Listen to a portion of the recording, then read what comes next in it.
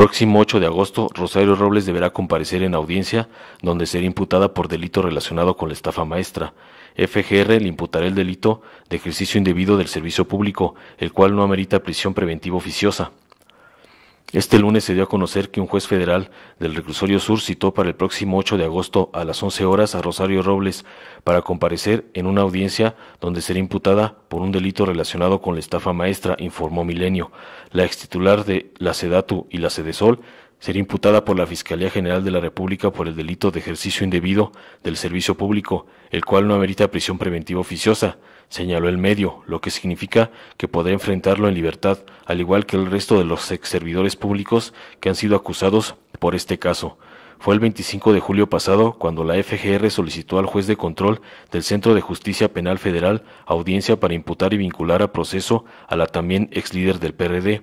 Ese delito está castigado en el artículo 214 del Código Penal Federal y es porque, teniendo conocimiento por razón de su empleo afectó el patrimonio de la Administración Pública Federal, informó Mr. Político. Nos vemos el siguiente video.